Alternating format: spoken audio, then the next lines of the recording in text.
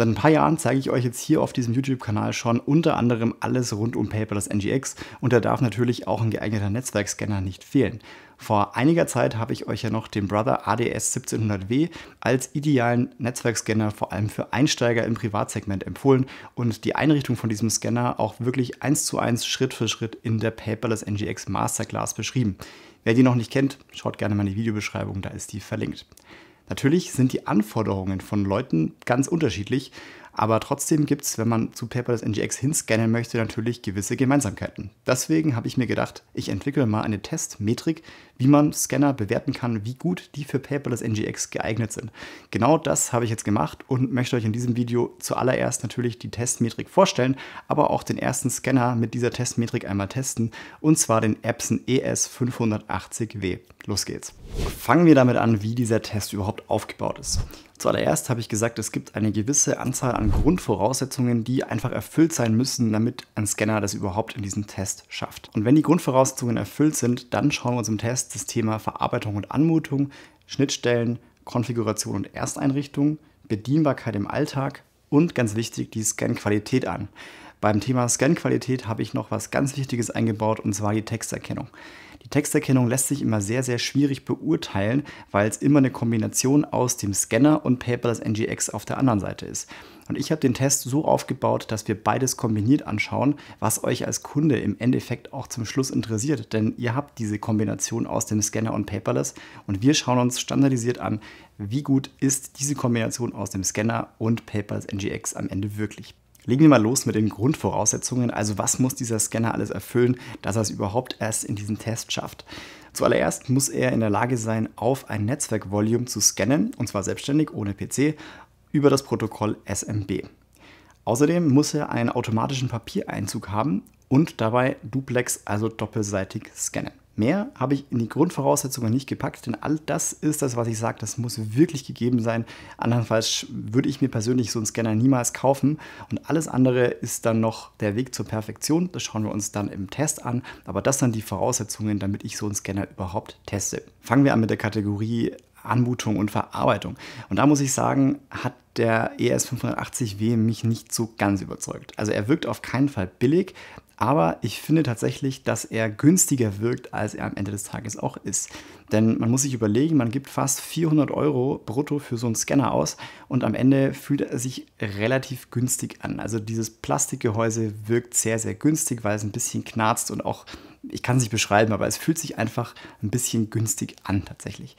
Die Scharniere und alles, was man rausziehen kann, ist relativ okay, aber man könnte sich das durchaus noch hochwertiger vorstellen. Es gibt leider keinen integrierten Staubschutz, das haben andere Scanner besser gemacht, die man einfach zusammenklappen kann, um sie vor Staub zu schützen. Das ist beim ES580 nicht so, das heißt, wenn ihr den in einem geschlossenen Container lagert, ist das gut. Wenn der bei euch aber frei rumsteht, dann wird der mit der Zeit verstauben. Das finde ich tatsächlich nicht so toll. Natürlich ist die pure Größe des Scanners auch entscheidend, denn man möchte sich vielleicht nicht den größten Klopper auf den Schreibtisch stellen.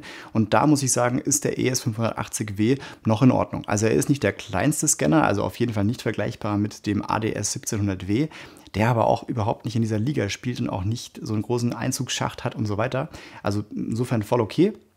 Aber man könnte sich theoretisch noch ein bisschen mehr Kompaktheit wünschen, insbesondere durch ein intelligentes Klappdesign, das auch gleichzeitig wiederum vor Staub schützen würde. Und lacht mich bitte nicht aus, aber ich habe auch akustische Anmutungen äh, in diesem Test noch mit aufgenommen, weil ich finde, es macht einen Unterschied, wie so ein Scanner klingt, wenn man damit jeden Tag arbeitet. Das kann von komplett billig bis zu unglaublich hochwertig klingen und deswegen habe ich es einfach in, diesen Test mit aufgenommen.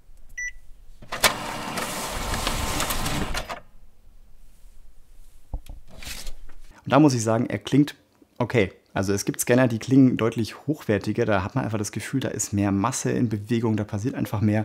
Aber so für den Alltag ist es vollkommen ausreichend, bin ich auf jeden Fall zufrieden damit. Alles in allem bekommt der Scanner von mir 3,5 von 5 maximalen Sternen im Bereich Verarbeitung und Anmutung.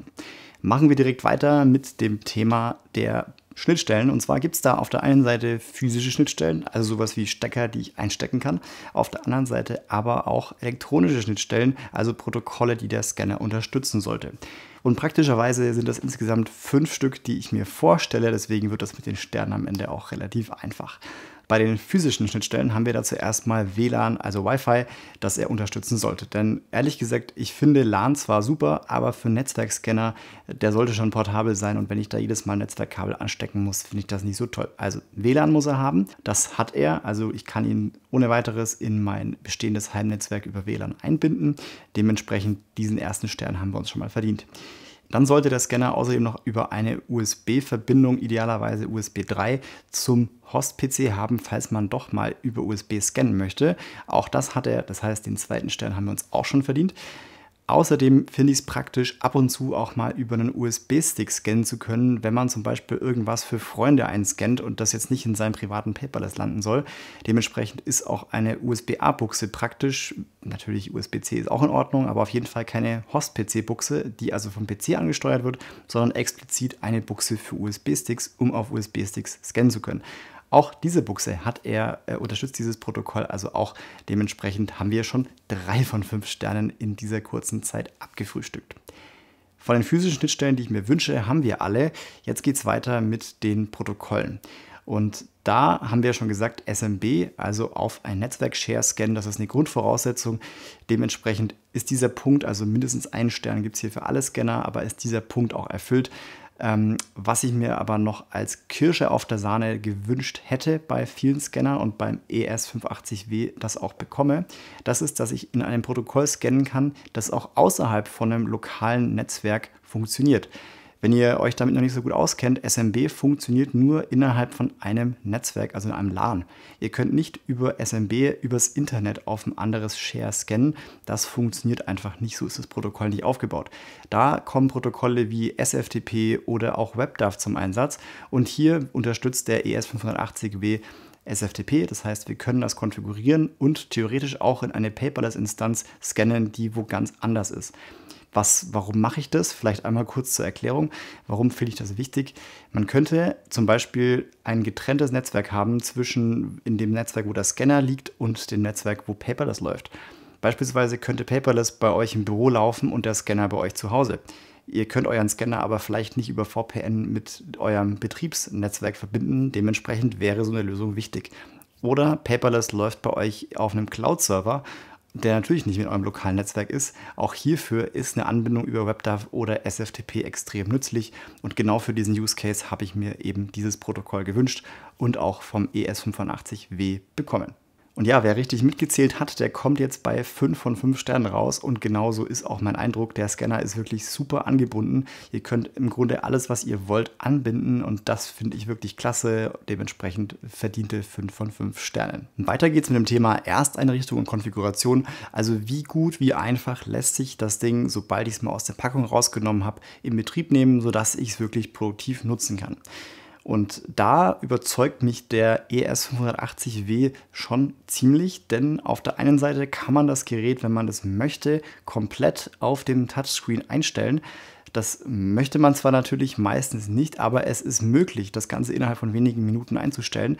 Auf der anderen Seite kann man auch sehr, sehr viele Einstellungen sehr komfortabel über ein Webinterface machen. Das heißt, man muss nur die IP-Adresse von diesem im Netzwerk bereits eingebundenen Scanner wissen, um dann viele Einstellungen über die Web-Oberfläche einrichten zu können. Das finde ich besonders praktisch, weil man für viele Einstellungen nicht extra an den Scanner muss und auf diesem winzigen Touchscreen irgendwas tippen muss, sondern man das Ganze eben komfortabel von seinem Rechner aus machen kann. Die eigentliche Netzwerkeinrichtung, also die Anbindung vom Scanner ins Heimnetzwerk, die war extrem einfach möglich, einfach weil ich WPS benutzt habe. Ich habe also dem Scanner gesagt, ich würde mich jetzt gern mit dem Netzwerk verbinden, habe dann auf meiner Fritzbox die WPS-Taste gedrückt und innerhalb von wenigen Sekunden hat sich der Scanner automatisch mit der Fritzbox Dropbox verbunden und war im Netzwerk registriert. So musste ich eben nicht mehr meinen ultralangen WPA-Key eintippen, sondern ja, konnte das Ganze innerhalb von wenigen Sekunden einfach so lösen. Ab da habe ich dann natürlich übers Webinterface weitergemacht und die wichtigsten Einstellungen eingestellt. Und so war ich innerhalb von wenigen Minuten in der Lage, meinen Epson ES580W mit sowohl meinem Netzwerk als auch mit meinem Synology NAS zu verbinden, um auf einen Netzwerk-Share zu scannen. Außerdem konnte ich genau diese Einstellung als Shortcut speichern, die dann immer auf dem Startbildschirm vom ES580W ja, steht und mit einem einzigen Touch sofort losscannen zu können. Das finde ich immer ganz praktisch, weil ehrlich gesagt mag ich es nicht, mich erst durch drei Menüs durchtippen zu müssen, bis ich endlich mal da bin, wo ich sein möchte, um zu scannen. Ich will den Scanner anmachen und idealerweise, sobald er da ist, auch einfach mit einem Tastendruck scannen. Idealerweise habe ich vielleicht drei, vier bis acht Ziele, die ich ansteuern möchte und die hätte ich gerne alle in einer Übersicht und genau das kann der ES580W. Deswegen gibt es von mir in diesem Bereich tatsächlich volle Punktzahl. Insgesamt bin ich mit der Ersteinrichtung und Konfiguration vom ES580W sehr zufrieden. Einzig und allein die Web-Oberfläche vom Konfigurationstool sieht etwas ja, altbacken aus. Immerhin, es ist ein Webinterface und keine App, die man noch installieren muss. Das finde ich sehr gut. Aber ja, weil das Ganze etwas altmodisch wirkt und vielleicht mal ein Update verdient hätte, gebe ich insgesamt hier vier von fünf maximalen Sternen. Weiter geht's mit dem Thema Bedienbarkeit im Alltag. Und eine Sache, die mich immer relativ nervt, ist, wenn der Scanner wahnsinnig lange braucht vom ersten Anschalten, bis ich wirklich in der Lage bin zu scannen. Deswegen fließt dieser Faktor auch mit in den Test mit ein. Und da muss ich sagen, bin ich vom ES580W nicht so wahnsinnig überzeugt. Vom ersten Einschalten bis zum ersten Scannen vergeht mir persönlich etwas zu viel Zeit, weil er erstmal das Netzwerk suchen muss, sich dann mit dem NAS verbindet, um dann erst zu scannen, sobald diese Verbindung erfolgreich war. Das dauert schon ein paar Sekunden. Einen genauen Messwert werde ich euch auch noch hier in der Ecke einmal einblenden. Mir persönlich ist das einen Ticken zu lang wenn euch das nicht stört, nehmt es einfach so als ja, harten Faktor mit. Das ist so der Wert, den ich rausgemessen habe. Ich persönlich finde es einen Ticken zu lang. Dementsprechend muss ich hier leider ein bisschen was abziehen. Der zweite Punkt, der mich bei der Bedienung interessiert, ist ein One-Touch-Icon möglich. Also ist es möglich, dass ich auf dem Startbildschirm vom Touchscreen ein Icon habe, wenn ich da drauf drücke, dass sofort der Scan auf dieses Ziel, das ich dorthin programmiert habe, auch loslegt. Und ja, das Ganze funktioniert beim ES580W. Ich nutze das zum Beispiel, um verschiedene Tags in Paperless zu hinterlegen. Falls ihr das noch nicht wisst, ihr könnt verschiedene Unterordner ansteuern und diese Unterordner dann zu Tags umwandeln lassen. Dazu habe ich auch schon mal einen Artikel geschrieben, den werde ich euch auch mal unten in der Videobeschreibung verlinken. Ich mache das zum Beispiel so, dass ich einen Kurzwahl-Icon habe, der einfach allgemein in Paperless in die Inbox reinscannt und einen weiteren Icon, der mir das Tag LexOffice verpasst und alles, was mit dem Tag LexOffice, also mein Buchhaltungstool, getaggt ist, wird automatisch in das Buchhaltungstool hochgeladen. Wenn, wenn dich das interessiert, wie das funktioniert, schreib mir gerne mal in die Kommentare, denn da habe ich was programmiert. Das entsprechend ist auch Open Source, kann auch jeder kostenlos nutzen. Ich weiß noch nicht, ob es euch interessiert, deswegen, wenn es euch interessiert, schreibt das mal in die Kommentare. Genau, das war zu den One-Touch-Icons. Also das hat der ES580W, finde ich super praktisch und möchte ich auch ehrlich gesagt nicht mehr missen. Dass der Scanner Duplex scannen kann, also zwei Seiten auf einmal, das ist ja eine Grundvoraussetzung. Dementsprechend ist es ja schon klar, dass er das unterstützt. Ich möchte es aber nochmal betonen, wie wichtig das ist, wenn ihr euch einen Scanner kauft. Wenn der kein Duplex kann, lasst es sein. Ihr werdet es euer Leben lang bereuen, beziehungsweise eben so lange, wie ihr diesen Scanner habt. Und der letzte Punkt in dieser Kategorie ist das Scannen von langen Kassenzetteln. Es kommt sehr, sehr häufig vor, dass Netzwerkscanner aus welchen Gründen auch immer nur zum Beispiel so lange Kassenzettel unterstützen. Alles, was dann über diese Länge hinausgeht, ja, wird als Papierstau gewertet. Das ist glücklicherweise beim ES580W nicht so. Ich konnte hier auch schon wirklich lange Kassenzettel ohne Probleme einscannen. Und auch dort, ja, muss ich sagen, das, das ist zwar, es klingt so, so einfach, aber wenn ihr das im Alltag habt, dieses Problem, und ihr nur so lange einen Kassenzettel scannen könnt, dann macht euch das komplett fuchsig und komplett wahnsinnig. Deswegen äh, nehmt das euch zu Herzen, wenn ein Scanner sowas kann, dass das wirklich was Gutes ist. Und jeder Scanner, der das nicht kann, würde ich euch an dieser Stelle auch wirklich nicht empfehlen, solltet ihr öfter mal Kassenzettel scannen. Insgesamt bin ich mit der Bedienung im Alltag sehr zufrieden. Einzig und allein die etwas lange Aufstartzeit hat mich doch etwas genervt. Dementsprechend gebe ich dem Scanner 4 von 5 möglichen Sternen für die Benutzbarkeit im Alltag. Jetzt kommen wir zu dem vermeintlich wichtigsten Teil, nämlich der Scan-Qualität. Die habe ich im Test unterteilt in einen subjektiven Teil, also wie ich die Scan-Qualität optisch empfinde, wie ich den Scan-Vorgang an sich empfinde, und auf der anderen Seite einen objektiven Test. Dazu aber gleich noch mehr, wenn wir zu dem Punkt kommen. Im subjektiven Test geht es unter anderem darum, wie der Scanner mit Problemen umgeht. Also jeder kennt das, man hat Tackerlöcher, man entfernt die Tacker vielleicht, aber am Ende kleben die Dokumente ja doch an diesen Tackerstellen so ein bisschen zusammen, sind ein bisschen verhakt. Wie gut kann der Scanner das trennen? Oder sowas wie kann der Scanner das erkennen, wenn er doppelte Seiten eingezogen hat und so weiter und so fort. Und da muss ich sagen, ist der ES580W auf einem ganz, ganz hohen Niveau. Ähm, Seiten, die getackert waren, hinterher wieder entfernt wurden, also die Tackernadeln, hat er noch nie zusammengekleben lassen. Also er hat die immer sauber getrennt. Ich hatte hier noch nie ein einziges Problem.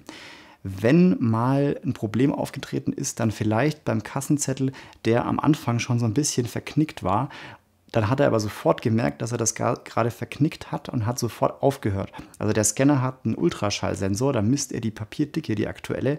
Und sobald so ein Papier knickt, dann hast du ja die doppelt so viele Lagen. Das erkennt er sofort und bricht sofort den Vorgang ab, um eben das Dokument nicht zu beschädigen. Das finde ich wirklich super und von daher, also rein subjektiv, wie der Scan-Vorgang ist und auch wie das Bild hinterher aussieht, also der eigentliche Scan, das sieht alles top aus. Das ist wirklich 1A. Ich persönlich als Mensch, also rein subjektiv, kann am Scan-Vorgang und auch am Scan-Ergebnis überhaupt nichts aussetzen. Insofern bei der subjektiven Scan-Qualität gibt es bei mir absolut sichere 5 von 5 Sternen. Jetzt gibt es aber noch einen zweiten Teil, nämlich die objektive Scan-Qualität inklusive Texterkennung. Und da habe ich mir folgenden Test überlegt. Ich habe ein Testdokument, also ein Referenzdokument erstellt, das Text, Tabellen und so weiter enthält und bei dem ich persönlich alle Wörter kenne, die drin vorkommen. Und dann habe ich den Test gemacht. Ich habe dieses Dokument zehnmal hintereinander in Paperless NGX eingescannt und dann Paperless die Texterkennung durchführen lassen. Dann habe ich den erkannten Text in jedem Dokument genommen und verglichen mit dem originalen Text, von dem ich ja wusste, wie er ist. Habe also jedes Wort aus dem originalen Text in den erkannten Texten von den entsprechenden Scans gesucht. Das Ganze habe ich mir natürlich programmiert, also das ist automatisiert passiert, dass ich dabei keine manuellen Fehler mache. Die objektive Bewertung richtet sich jetzt nach einem eigentlich echten Use Case, nämlich der Suche von Dokumenten. Wie funktioniert das? Ihr sucht Dokumente anhand von Wörtern, die im Volltext vorkommen, zum Beispiel Achsreparatur. Wenn das Wort Achsreparatur in diesem Dokument erkannt wurde, dann findet ihr das Dokument. Wenn das Wort nicht erkannt wurde, findet ihr es nicht. Dementsprechend habe ich das Fehlen von Wörtern sehr, sehr kritisch bewertet und wenn alle Wörter da sind, das dementsprechend gut. Außerdem habe ich in meine Bewertungsformel noch die sogenannte Lebenstein-Distanz und die Übereinstimmung in Prozent der entsprechenden Wörter mit einfließen lassen. Und diese Lebenstein-Distanz könnt ihr euch so in etwa vorstellen wie die Editierdistanz, also wie viele Änderungen am Dokument notwendig sind, um von dem Ursprungstext, also dem Originaltext, zu dem erkannten Text hinzukommen. Je größer die Distanz, desto schlechter ist es. Je höher die Übereinstimmung in Prozent, desto besser ist es. Und fehlende Wörter, glaube ich, muss ich auch nicht erklären. Je mehr Wörter fehlen, desto schlechter ist das Ganze. Außerdem habe ich noch in die Bewertung mit einfließen lassen, ob leere Seiten korrekt erkannt wurden und gleich entfernt wurden. Denn ich finde es wirklich nervig, wenn man Dokumente einscannt, die eigentlich gar keine Rückseite haben, diese Rückseite aber vom Scanner trotzdem mit an Paperless geschickt wird. Und das Endergebnis ist tatsächlich wirklich fantastisch. Ich habe von diesen zehn Dokumenten lediglich in zwei Dokumenten ein fehlendes Wort gehabt. Also das ist wirklich, wirklich gut. Da gibt es ganz, ganz andere Testergebnisse. Seid also noch gespannt, was noch alles kommt. Insgesamt kommen wir hier im objektiven Teil auf ein Gesamttestergebnis von 4,8 Sternen. Also wirklich ein hervorragender Wert. Kommen wir nun zum Endergebnis. Wir haben insgesamt eine Bewertung von 4,5 von 5 Sternen bei diesem Scanner und es spiegelt auch mein Gesamtbild oder meinen Gesamteindruck wider. Ich bin nämlich sehr, sehr zufrieden damit. Und ich kann euch so viel verraten, dieser Scanner wird quasi die Referenz sein für alle weiteren Scanner, die ich nach diesem Maßstab teste. Und es wird nicht der letzte Scanner gewesen sein. Wenn ihr also dazu keine Updates verpassen wollt, dann, ihr wisst es schon, abonniert einmal bitte diesen Kanal und aktiviert auch die Glocke. Wenn ihr das Gesamtergebnis nochmal schriftlich Schritt für Schritt sehen wollt, dann könnt ihr euch gerne das PDF einfach aus den Show Notes einmal runterladen. Da habe ich euch die Gesamtwertung nochmal aufgeschlüsselt und auch die OCR-Bewertung könnt ihr da ein bisschen genauer sehen. Und jetzt würde mich natürlich noch interessieren, wie ihr diesen Test fandet. Auf der einen Seite den speziellen Test von diesem Scanner, auf der anderen Seite aber auch insgesamt die Testmetrik. Macht das für euch Sinn oder habt ihr noch Punkte, wo ihr sagt, hm, das könnte man vielleicht auch noch mit dem Test mit aufnehmen? Ansonsten würde ich aber sagen, herzlichen Dank fürs Zuschauen. Ich freue mich, wenn ihr beim nächsten Mal auch wieder mit dabei seid. Bis dahin. Ciao.